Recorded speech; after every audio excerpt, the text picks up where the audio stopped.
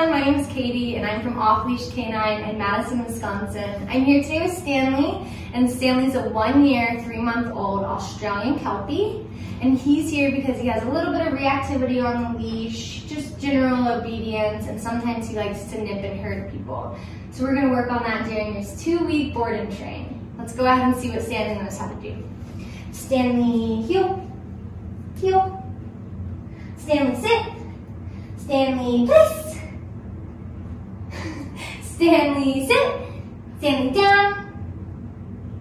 All right, so we're gonna work on everything during this two week board and train. Stay tuned for Stanley's transformation.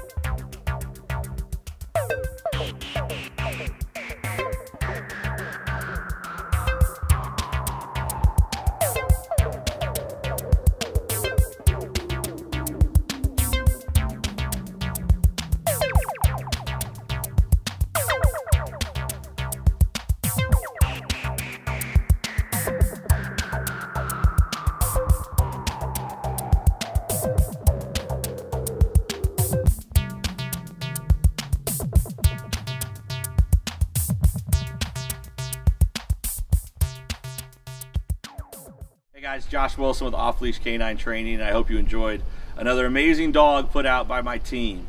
Uh, across the country, we don't care about the breed, the size, the age, or the behavioral issue. We're going to make them awesome for you. If you're interested in seeing more videos like the one you just saw, click the image here on the screen. Also, I'd encourage you to check us out on Instagram and Facebook.